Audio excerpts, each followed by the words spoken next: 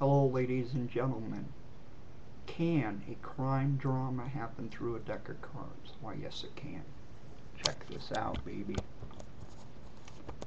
Alright. These are two detective cards from Boston, Massachusetts, Mr. Jack of Diamonds. And from the heart of Compton, California, Mr. Jack Heart. Alright. Those, my friends, are the detective cards. And a card out of all these different cards, mixed and so on, uh, a criminal card will be taken. Now I don't want the jacks to see the card either, so I'll cover them and what you see. This is the criminal, the criminal card. And the card can be put anywhere in the center uh, the person so chooses to desire.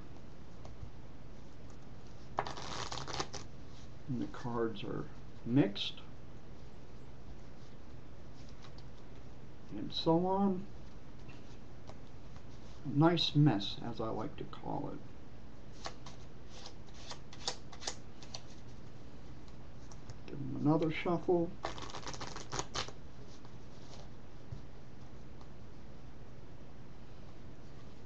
Take the cards, give them a few cuts. Make sure that card really is lost in the deck. Now, I would have someone cut the cards anywhere they want in the deck. So they do, let's say they cut here.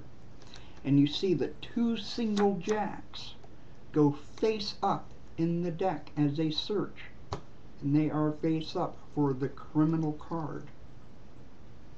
And I will go through just to show all you Doubting Thomases that the jacks really, truly, legitimately are face up and they're next to each other. The only cards face up.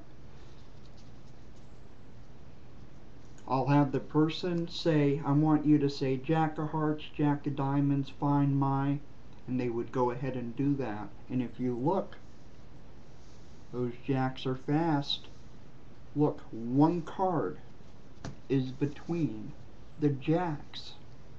Yes, indeed.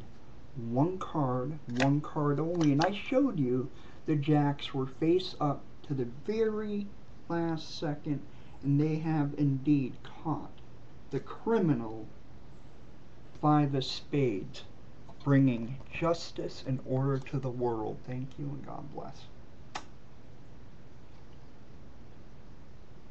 Peace to your mother.